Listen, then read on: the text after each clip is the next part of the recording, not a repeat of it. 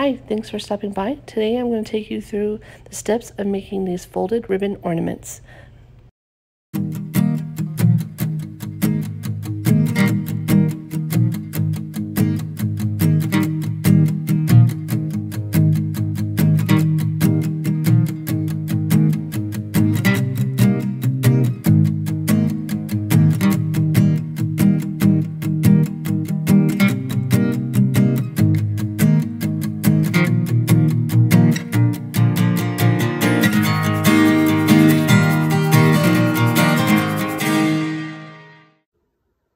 One of the first things I'm going to show is a list of supplies. First, we're going to start with your foam ball. Um, it doesn't really matter if it's the styrofoam you want or the um, what they call a smooth one. Um, I'm actually going to see if this one's any better this time around. And the size also kind of doesn't matter. This is the smallest that I've gone, and that's your 2.9. Um, if you go any smaller, you won't be able to get very many colors in there. I also didn't really like going bigger because it's just kind of too big on the tree usually. Um, so this is the size that I normally go with, but you can play around with it. The next thing will be your ribbons. Colors are totally up to you. I've used all sorts of patterns. I, I personally like the metallics. They are shiny and on trees with lights, it's really pretty but you can really honestly do almost anything. I've also done patterns for kids. Um, I had Disney Princess one year. And the one thing though is to get the one and a half inch size. It folds the best. Um, I'll show you with the scrapped one because eventually you go like this and that's how you, you're going to be doing the folded. And this just seems to work the best for me. Uh, it also doesn't matter if it is wired or not. If it's not wired, you just use a little iron, which I use my little quilting iron on a board. If you get the wired, you can skip the iron step because when you do the fold, it stays down. Now, I guess you could technically skip the iron because you are pinning it in place, but it just seems to like have a bubble for me, and I hate that part. I like the look of it when it's nice and smooth when you lay it down. So I actually like it using the wire because it skips that stage, but there's not always a lot of wired ones uh, when you're looking for your patterns or colors that you like. When choosing your ribbon though, I found that only usually two to three colors of ribbon are, are going to be enough. The max usually is four. Even with um, your spacing being really tight, again, this size just doesn't allow for a ton of the quilting. Uh, so that's just my experience. Again, it's something you can play with. You will need also a thinner ribbon to make your tie. Um, you can use this one, uh, the um, or the next one up, like I think it's a half inch. I just wouldn't go too wide because this is what you're going to be using to hang it on the branch. Other things needed are um, tiny little pins. I've used both the applique ones, um, which are these itty bitty bitty ones, or this other size, and I'll show you comparison. I don't know if you guys, they're, so, they're very small, um, but they work really well. You can even use um, regular straight pin size. I just found that I do like these ones, and this has all been experimentation. I just noticed with the bigger straight size, sometimes you are actually ending up poking into each other. Um, I had noticed that, whereas I never noticed that with these. It just needs to be long enough to get a good grip. And sometimes these little, little ones don't have enough.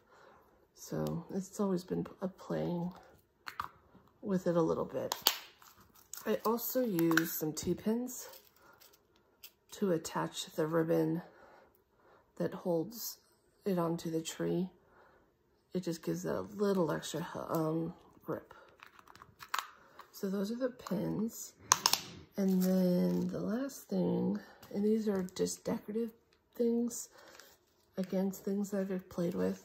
I sometimes will get head pins because they have the decorative tips just to add a little more sparkle, a little whatever in the very center of the ornament. Again, you don't need these, it's up to you. I've also used where I had a um, alphabet letter for the person I was making it for that I strung on something like this to go across the middle. It's all kind of what you want to do for the middle of your ornament.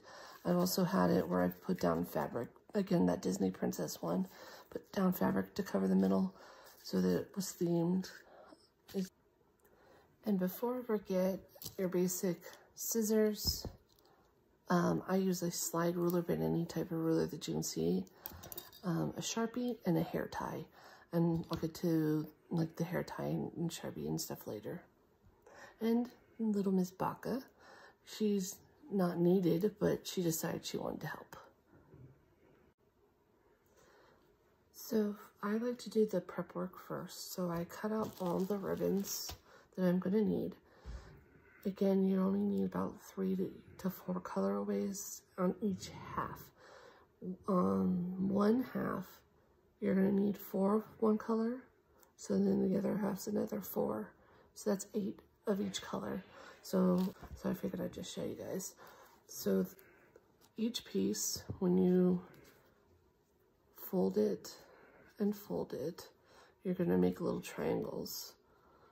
So I already knew from previous that that's about three inches. And then I, this is a scrap one. I just kind of use it as my guide. Now, if you are very OCD about it and like to have yours perfect, go ahead and use a slide ruler. I am not, and the bottoms of these get covered anyway, so using a guide is close enough for me.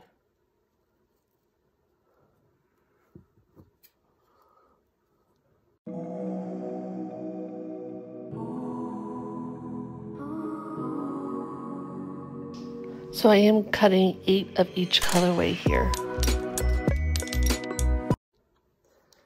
So I had to sacrifice a few of the leftover scraps to the kitty, but it's keeping her off the, the off to the side and out of the iron's reach.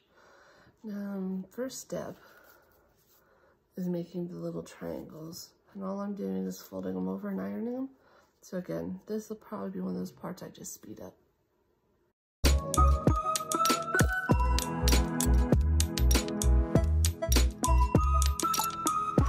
So through trial and error, I found out that the foil actually melts on this ribbon. So I'm using a scrap piece as a buffer cloth. Oh look, bonus kitty cat.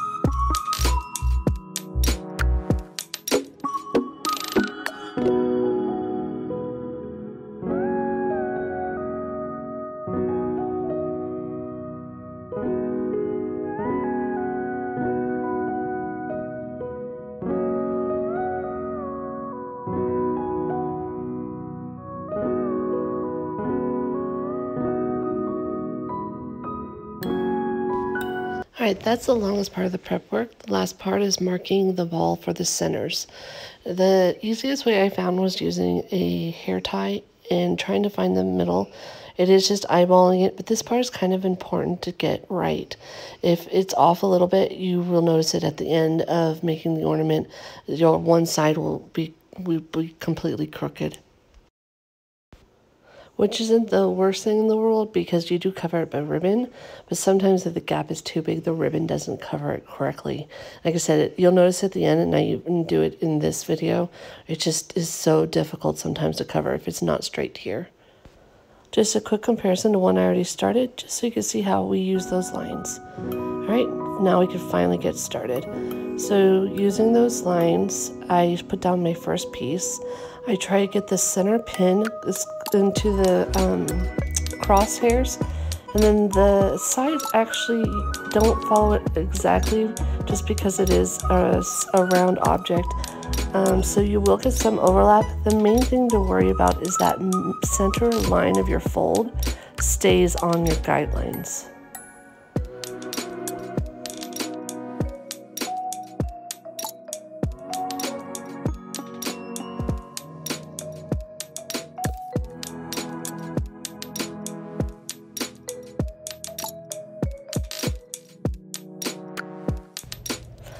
Finished all four, and this is where I'm testing to see what ribbon I want to lay next. It's all up to you on how you like how it looks, and believe me, sometimes you have to take it all apart and redo it like I did here. Alright, so we have all four sides down. The next steps is you're going to be laying the next ribbon. The measurement, it's completely up to you again and how you like how it looks. I never do less than a eighth of an inch. Um, and the eighth of an inch is usually only when I'm doubling the pieces. The first pieces away are usually three eighths of an inch to one fourth. The max I normally go up to though is six eighths of an inch. And remember how I said you didn't have to be very OCD about the ribbon part, cutting it? This is where the OCD for me comes in. I make sure I have that slide ruler there and I'm measuring each time and it's on it. It really can, um, because it is so symmetrical, you can really tell this part if it's even off just a little bit.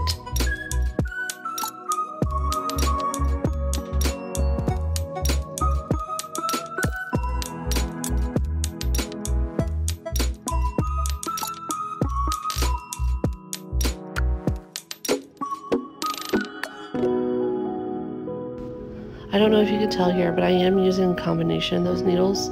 The longest one is usually the first point because I want it to be the most secure. The um, shorter ones I usually use on the outer corners unless they're just not grabbing, which sometimes they don't, so then I use the longer ones again. If it is grabbing really well, sometimes you can even double it up with the ribbon next to it so it's going through both layers or all four layers. Like it just depends on how well that needle's grabbing.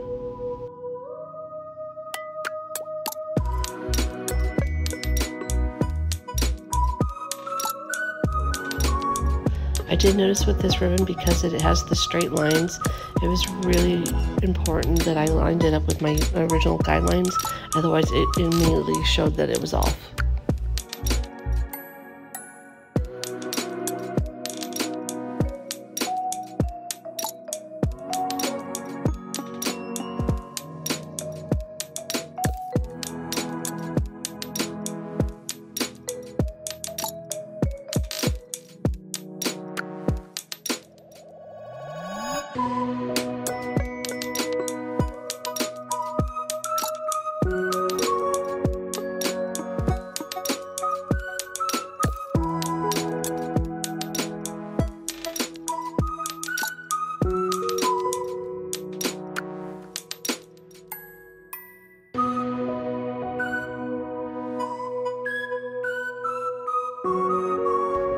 Onto the last layer, which is the same blue that I started with, kind of rounds it out.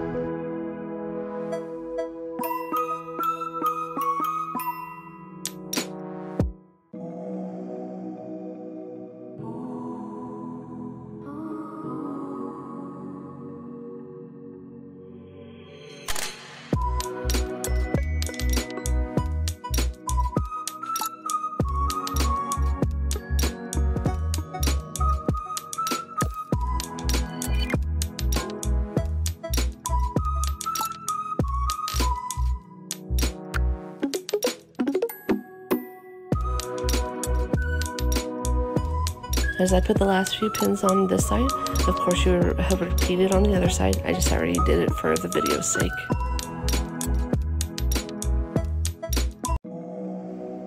This is where I'm placing the decorative pins. They're a little hard to get in. Sometimes you have to kind of wiggle them since they don't have a point, but usually it's not too hard. This is also where you need to be kind of precise. You can tell right away if they're off by the smidges a bit. But it really does add a lot, a pretty, really pretty decorative touch. So I really like to add these.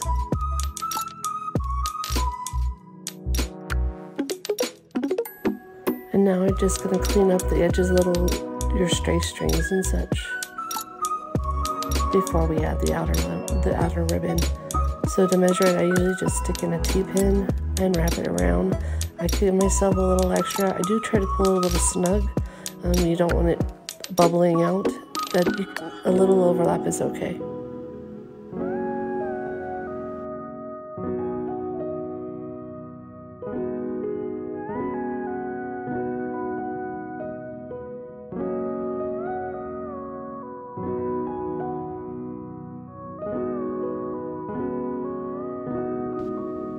Once I have my length, I cut two of the wider ones at the same size, and then I cut that smaller one, which will be the one that it actually hangs from, about 8 inches. Again, secure it with a T-pin. And this is going to take a little bit of futzing, and I do a lot with this one. The main reason why is I don't like it when it's completely as wide on some of them. It just bubbles too much, has too much overlap. But with this one, when I tried to fold it in half, because it wasn't perfectly even, there was parts that showed and I could not get them secured. So I did have to go with the wider part. I think I tried 3 fourths here. And again, there's a part that just does, doesn't get covered. And you see I'm trying to tuck them and it's showing on the other side and everything else. So I end up going with the full width.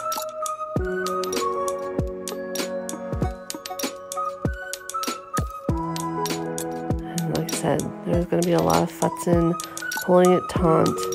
Um, always secure with that T-pin first. It keeps it nice and snug. And then as I go, I put in the smaller ones, smoothing as I go.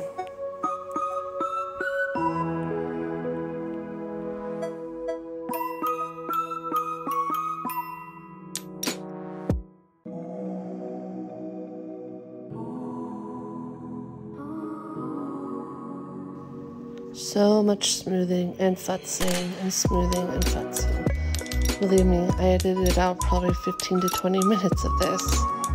So we got to the end, and we kind of just tuck it under, and we're going to pin it down. So, so it's not seen, I usually pin it under the top layer, in between them it's not seen at all.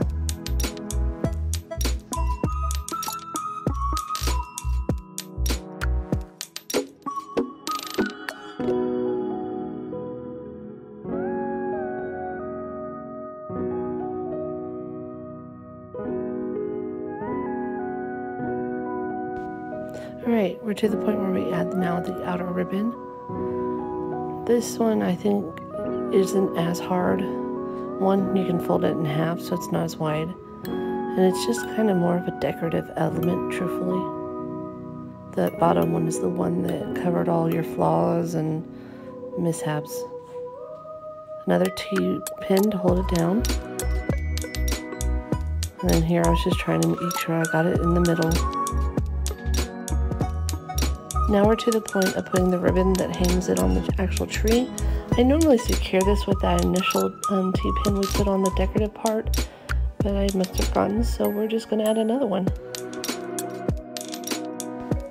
And you do want to use the T-pin here. You want it to be quite secure. This is the ribbon that actually hangs it on the tree. I've had some of these ornaments on my tree for over five years, probably close to 10, and I've never had a problem with it just using it this way. Though I did recently make some for my nieces, and when they use it like a paddle ball, it doesn't hold up. So this is an ornament, it's not a toy. Leave it to kids to teach you things you didn't think about.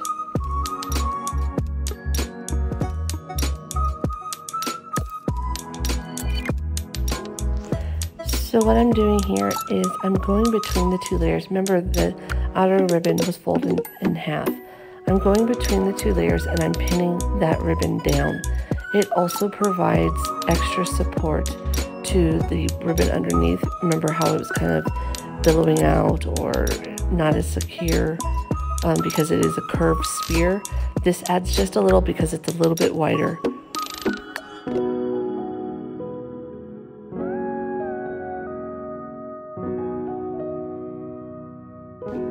Nice thing is it secures it a little more and then we get to cover it back up. So much futzing with this one, trimming edges, trying to get those edges pinned down under that ribbon because they just want to come out, and all of it because I wasn't quite lined up in the beginning when I started it. But here's a close-up of the final product.